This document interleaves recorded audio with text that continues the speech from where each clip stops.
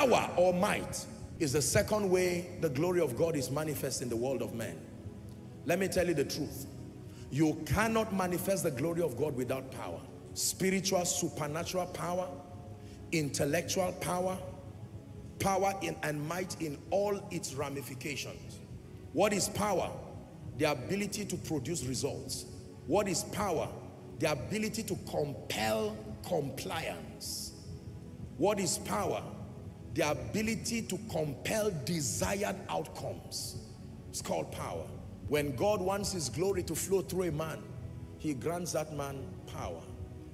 The glory of God revealed as his healing anointing. If it's to flow to you now, it will come through the healing power of God. Are we together now? When God wants his glory to come to you, bringing you understanding, it will come through the teaching grace, power.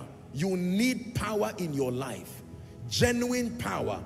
Power is beyond falling down and standing up. No,